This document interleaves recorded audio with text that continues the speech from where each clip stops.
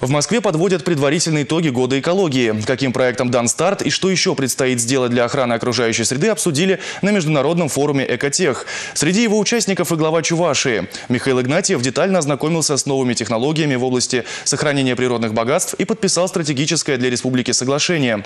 Подробности у Дмитрия Ковалева. Год экологии завершается, но внимание к окружающей среде будет только усиливаться. Новации, которые призваны помочь природе, выставили здесь, в павильонах Крокус Экспо на международной выставке «Экотех». Современные полигоны ТБО действуют уже в пяти регионах страны. На очереди Челябинская область. В республике утилизировать отходы по новой системе начали два года назад. Мусор сортируют, а затем вывозят на специально подготовленную площадку. И это позволило приступить к рекультивации Пихтулинской свалки. Ранее под гарантию федерального правительства реализовали банковский займ, благодаря которому реконструировали биологические очистные сооружения. Масса поступающих в Волгу сточных вод снижена в 100 раз. Мы на сегодняшний день на самом деле выглядим по сравнению с другими регионами Российской Федерации достойно. Э, эти проекты востребованы на федеральном уровне, регионами. Соответствующие оценки есть природоохранной прокуратуры, генеральной прокуратуры, которые свои э, отдельные мероприятия у нас проводили. Формирование экологического кластера среди предприятий э, говорит о том, что республика задан абсолютно правильный вектор экологической политики. И мы отмечаем республику как один из регионов, регионах это ведет и провел в этом году, я надеюсь, будет и в дальнейшем активную экологическую политику. Проекты, реализуемые в республике, признаны лучшими инвестиционными практиками в стране. Но для защиты окружающей среды требуются инноваторские подходы. К примеру, для переработки органики сейчас производят вот такие автоматизированные комплексы. Что можно получать?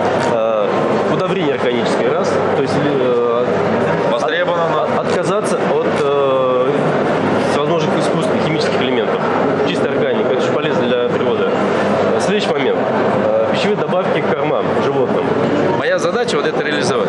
Владимир Александрович, Они да, визитки.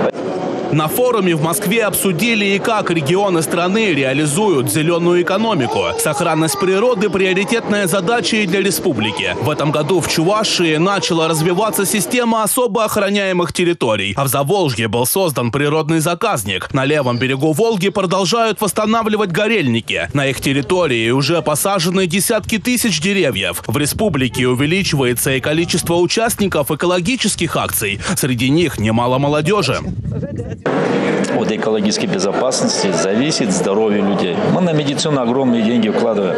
Но когда люди с чистыми помыслами, с экологически чистой душой выполняют свою деятельность, свои прямые функциональные обязанности, он результат налицо. Экологические проекты стали важной составляющей на крупных предприятиях. Солидные инвестиции на защиту природы обязались направить и в Новочебоксарском химпроме. План приоритетный. К его реализации подключатся и власти республики, и федеральные ведомства. Соглашение о взаимодействии подписали на полях форума. Я считаю, что э, те соглашения, те обязательства, которые берет на себя предприятие, а это и мероприятия, направленные как на э, охрану атмосферного воздуха, почв, так и, безусловно, что основное – это водоохранное мероприятие. Я считаю, что эти обязательства, они носят в первую очередь и социальный эффект. Не, не случайно мы подписываем эти соглашения четырехсторонние.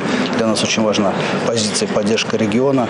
Мы считаем, что сегодня э, республика э, провела большую работу в рамках года экологии помещение доделывается, планируется... За три года на Химпроме планируют автоматизировать технологические схемы, реконструировать сети, а также уменьшить количество вредных выбросов в атмосферу и сточные воды.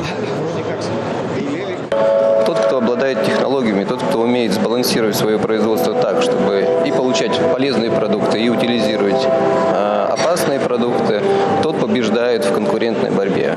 Поэтому здесь взаимодействие и поиск решений, взаимодействие и поддержка нас на разных уровнях позволяет нам на сегодняшний день не просто решать проблемы, а решать их эффективно. Подписанный президентом России указ о годе экологии дал толчок в решении насущных проблем окружающей среды. В республике эту работу провели успешно и сейчас Чувашия находится в десятке регионов лидеров самой благоприятной экологической обстановкой. Но в перспективе предстоит сделать немало, отмечает Михаил Игнатьев годы экологии, он будет продолжаться столько, сколько будет жить человек. Это очень важно. Мы строим будущее. Вот это основная наша цель, к чему мы стремимся всегда, к чему мы двигаемся. Дмитрий Ковалев и Андрей Шоклев. Республика из Москвы.